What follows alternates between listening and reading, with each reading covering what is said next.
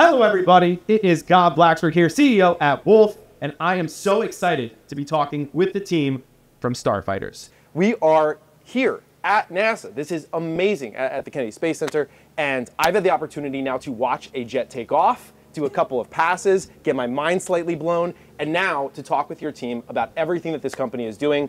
Going to start off with yourself, Rick.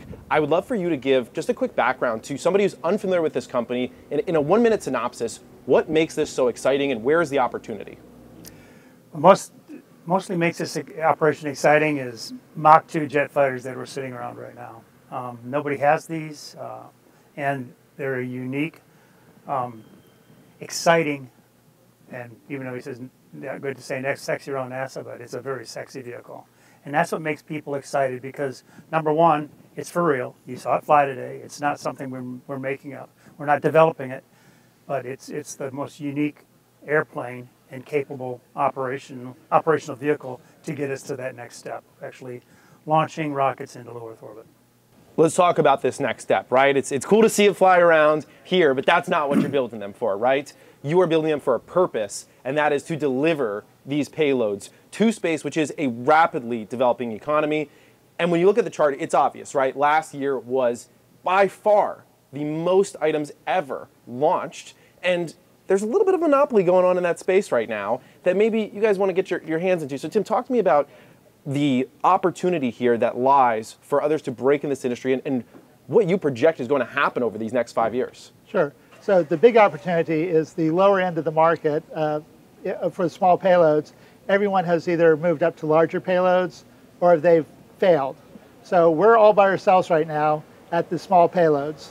Uh, we're going to call them super light. So it's about half the size of small satellites down. And uh, that's a huge opportunity because it's been ignored. Or they have to wait their turn on a big rocket, which they can wait 18 months. They don't necessarily go to the orbit they want to go to. They, they are, run the risk of uh, the larger carrier on the, uh, on the rocket slowing them up. So there's a huge opportunity for that.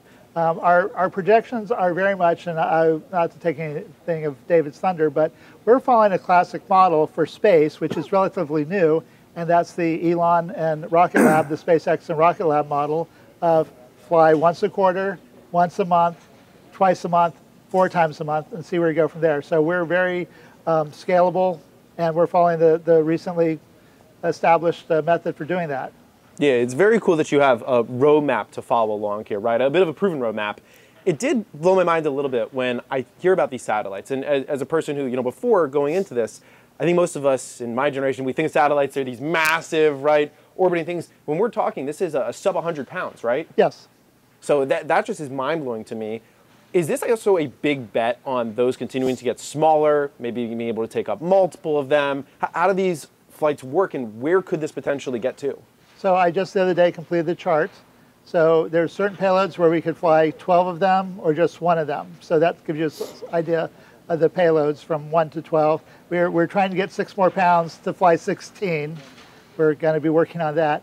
Uh, so, but uh, satellites uh, in 2020 were four times smaller than they were in 1980, just to give you a sense of scale from okay. 1980 to uh, 2020. In 40 years, they, they're four times smaller. So, and you know, the, and we're even looking at satellites that have like electronics as structure, so they're even going to get smaller. So yes, we see that happening for a while. Yeah, it makes sense to me. So let's talk a little bit about the numbers here, as that's largely what I think my audience likes to pay attention to when they're considering investment. You're raising 35 million currently at a 65 million dollar valuation. This is a, a potential 400 billion dollar industry uh, right now when you look at the numbers. Walk me through, and you've raised in the past a little bit over 8 million, about 8.5 million.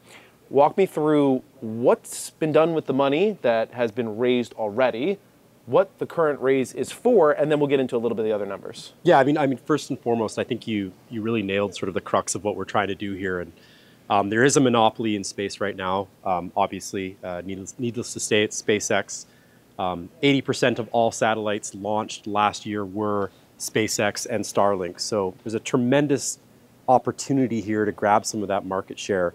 Um, and that's what we're really trying to achieve. So in terms of the raise, um, a lot of it to date has been R&D, acquiring some of our fleet, uh, building out engines, um, and then of course the biggest news is building our rocket with GE Aerospace. uh, which will be complete this year, and, and hopefully, uh, fingers crossed, with our first launch by the end of this year. Well, our first suborbital rocket. Suborbital, not, yeah. Not our big rocket. Yeah, and there's a few things in regards to orbit and LEO that I really want to touch Yeah. on because those really stood out to me. But before I do get to them, uh, let's talk a little bit about the numbers. So right now, big question for any investor: How does this company make money, and what uh, what does that look like so far up to this point, from as much as you can share within Yeah. the financial details, and what's your projections moving forward? I mean, the good news is uh, with the amount of money we're with the money we're raising right now. Um, you know, when we started this raise, it was just before you saw all those space companies go crazy over the last 12 months. So if you get in right now, you're going to take advantage of some of that natural uh, lift that we're going to we're going to see, I believe, in the next six to 12 months. Um, so 65 million pre-money. It's about 150 post-money. Uh, once we start generating revenue from Star Launch One and Star Launch Two, um, I could see that easily being a 10x. You know, once we start launching into space, um, you know, I really believe that it's a million, uh, a billion market cap minimum for a launch-capable company, public company. Do you have any projections on road to profitability and in regards to revenue, what those revenue numbers could look like, or does a lot of it lie on partnerships and formations and other things? So, I mean, the good news with our company is the cadence, our ability to, to launch quickly uh, and often really sets us apart from a lot of the larger space companies you're seeing, like SpaceX and Rocket Lab.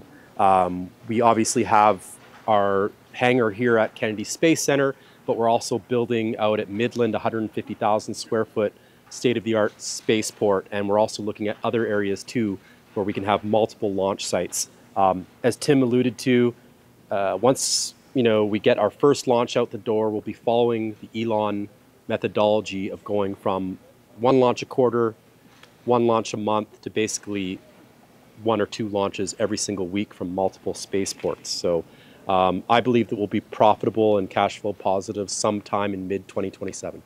Wow. Yeah. Appreciate the Yeah. projections there and some of the details.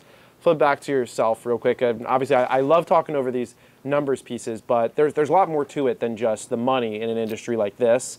Uh, what goes into it that really brings everything together? I know Austin was talking with you before, and he said you have to be a dreamer, right? So, what are people in this for beyond the money?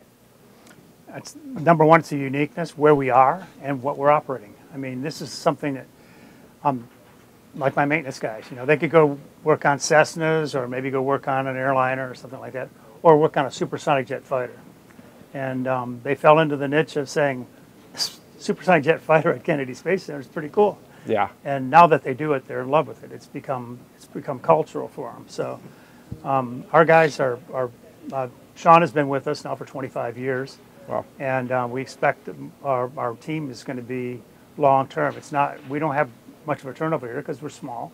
And as we expand, we expect most of these people will stick with us as well because we are such a unique operation. And um, I, th- I think it's, again, it's the sex appeal of what we have and the fact that we're, we're not a, a talking group, we're, we're, a, we're doers. I mean, we're capable of everything we say we're, we're, we're talking about. Um, that's a uniqueness in this industry in itself, to be honest with you. Yeah, that's the most intriguing thing to me, right? When you look at it, you're not a corporate businessman, right? You're someone that's been doing this for almost twice as long as I've been alive, right? and you've been flying and you've been in the, the, the seat, right? Uh, in the midst of it. So who better to do it? The last thing I wanted to touch on real quick was Leo. If you could explain to people Sure. what that means, Sure. what the value is there. So, so our, our, our first uh, rocket just goes suborbital. So it will go up about probably 250 miles and back down. I'll probably have 10 to 15 minutes of microgravity. You can do a lot of tests in that. And it doesn't require all the energy to go into orbit. So you can get some, but that's rather limited. LEO stands for uh, low Earth orbit. And it's where most of the satellites are today because of constellations such as Starlink. So it's, uh, uh, you know, it, it's so it moves over the Earth. It's usually an average 400, 800 miles, and it keeps moving. The Earth rotates, and they're not at geosynchronous, which is which is way up about 25,000 where a satellite stays in the same spot. So there's a lot of traffic there. There's a lot of uh, satellites there, and they're used basically for all the same five reasons: imagery, communication, and and uh, and so forth. Um, and it is where both NASA, the U.S. Defense Department, they really want to commercialize LEO. Um, it is a policy of the United States to commercialize LEO. Um, and uh, and the big stuff's left to NASA to go to Mars and things like that. So so it's in the federal policy to commercialize. And now now that we're getting more airliners, it needs to be more than SpaceX and Rocket Lab and Blue Origin, and get some smaller players in there. That'll be diverse like the uh, airline industry. So, but there's a real Absolutely. opportunity for the for the smaller for the smaller players.